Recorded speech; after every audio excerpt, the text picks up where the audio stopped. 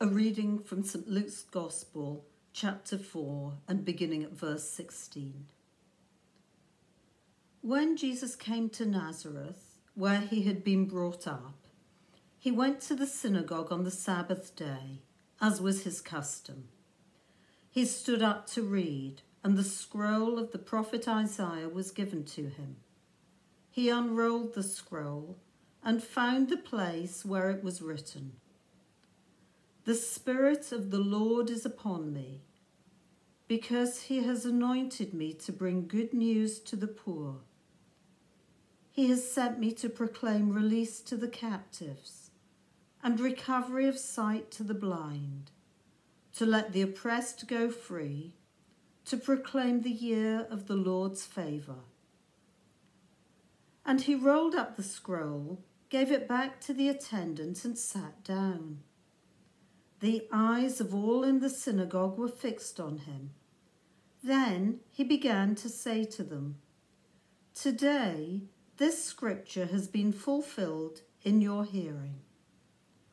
All spoke well of him and were amazed at the gracious words that came from his mouth. They said, Is not this Joseph's son? He said to them, Doubtless you will quote to me this proverb Doctor, cure yourself. And you will say, Do here also in your hometown the things that we have heard you did at Capernaum. And he said, Truly I tell you, no prophet is accepted in the prophet's hometown. But the truth is, there were many widows in Israel in the time of Elijah, when the heaven was shut up for three years and six months, and there was a severe famine over all the land. Yet Elijah was sent to none of them, except to a widow at Zarephath in Sidon.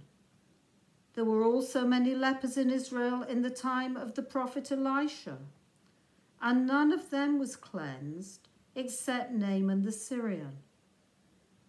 When they heard this, all in the synagogue were filled with rage. They got up, drove him out of the town, and led him to the brow of the hill on which their town was built, so that they might hurl him off the cliff. But he passed through the midst of them and went on his way.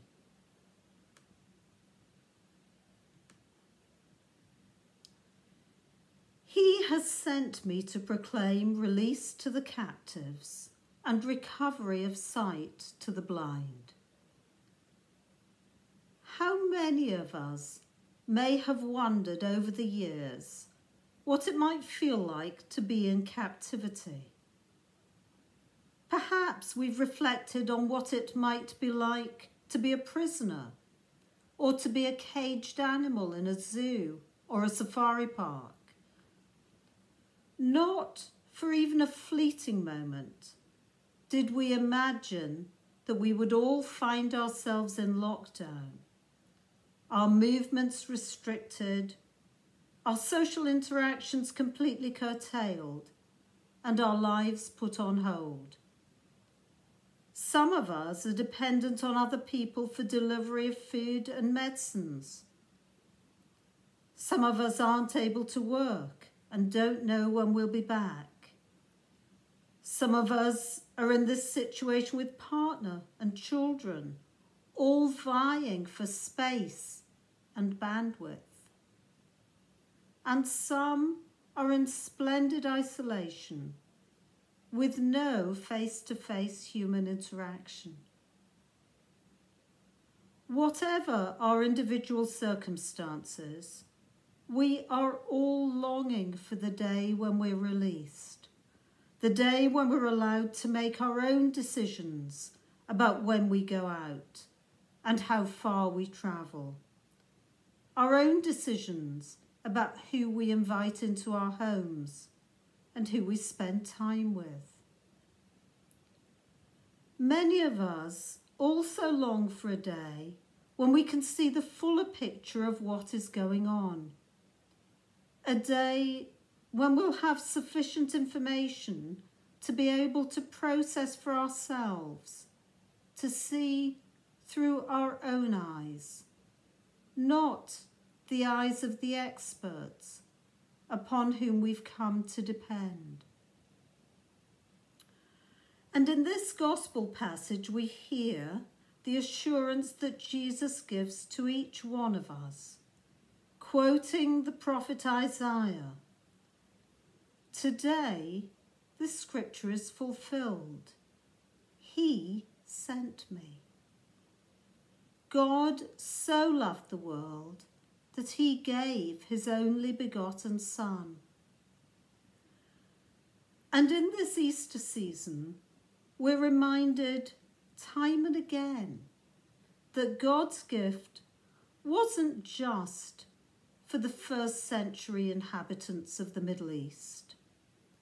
The resurrection changed all of that. Jesus lived and moved and had his being in that time and space. And he continues to live and move and have his being in this time and space. The resurrected Christ dwells among us and offers to each one of us, to you and to me, the promise of release from captivity and the recovery of sight. It's a promise of hope, a promise that whatever the situation today, there is the potential for things to be different tomorrow. Jesus' words are as relevant for us today as they were for the earliest disciples. And they are as relevant for us today as they will be when restrictions are lifted. Whatever our current constraints, we're only captives if that's how we see ourselves. We're only blinded if that's how we understand our situation. Whatever we have to face on a day by day basis, there are freedoms available to us. Insight is on offer to us.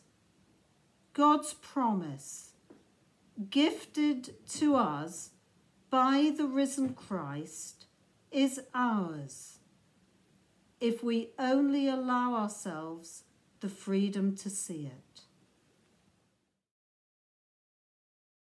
Let us pray. Dear Lord, in this week of commemoration, we give thanks for peace and freedom and for all those who made the supreme sacrifice to give us this gift we give thanks that nations who opposed us are now our friends, and give grace to those who suffered atrocities to find forgiveness. May we never be unappreciative of what those who went before us have done or take for granted what they achieved. In this time of general lockdown, May we give thanks for good health and appreciate that in the interests of others as well as our own, we have to accept temporary intrusion on that freedom.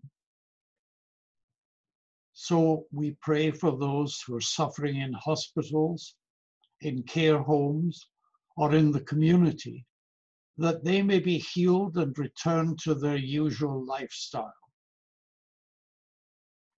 We pray for those who mourn the loss of a loved one. May they find solace in you. And we pray for those from other nations, both those who've suffered loss in warfare as well as those who have been affected by this pandemic. May we all appreciate the sanctity of life and its core values. Our prayers are also for all who put themselves at risk for the sake of the community.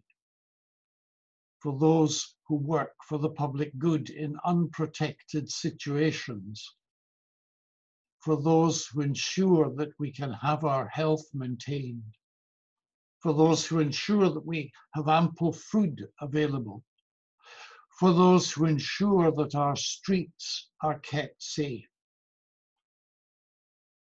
And we pray for those who've been let down by the system, who've worked without effective personal protection, who've been overlooked, often unwittingly, because their special needs are not recognized.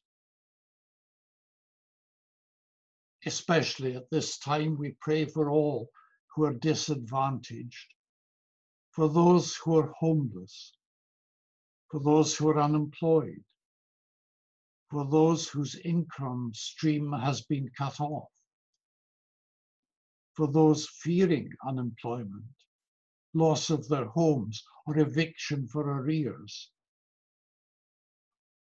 We give thanks for government support to so many and for those who've rallied to provide food support and emotional support to those whose needs for these are greatest. We pray for those in government, national and local, in the medical profession, in the judicial system, employers and trade unionists, each group of which have to make difficult decisions which affect us all. We pray for our Queen and members of her household. We pray for the leaders of all nations of the world as their decisions will in due course directly affect us. We give thanks for the Thistle Foundation continuing its work through its 450 employees, either working directly with people or by remote means to aid them physically and mentally. Especially do we pray for veterans whose needs are great. We pray too for the community of the Robin Chapel that we may make our different contributions to show love for all our neighbors. And we sum up all our prayers in the prayer you taught us. Our Father, who art in heaven, hallowed be thy name. Thy kingdom come, thy will be done on earth as it is in heaven.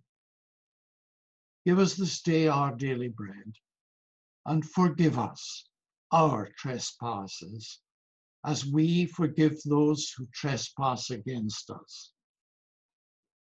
And lead us not into temptation, but deliver us from evil. For thine is the kingdom, the power, and the glory for ever and ever. Amen.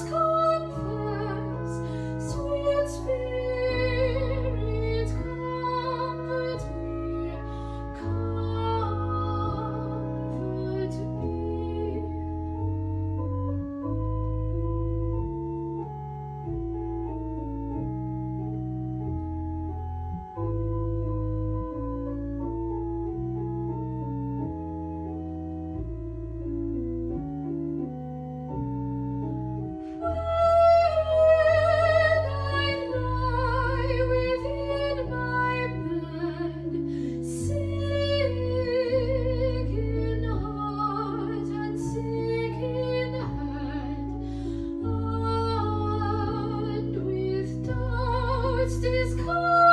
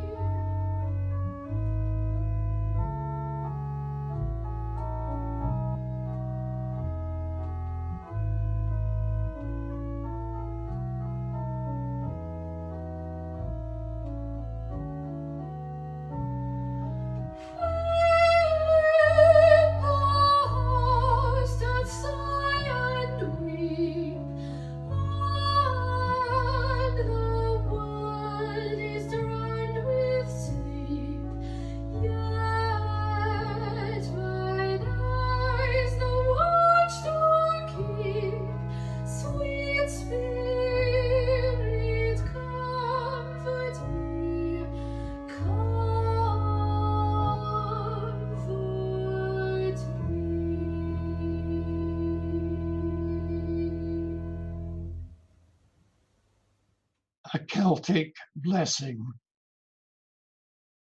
Deep peace of the running wave to you, deep peace of the flowing air to you, deep peace of the quiet earth to you, deep peace of the shining stars to you, deep peace of the Son of Peace to you. And may the blessing of God Almighty, the Father, the Son, and the Holy Spirit be with you and those whom you love this day and forevermore. Amen.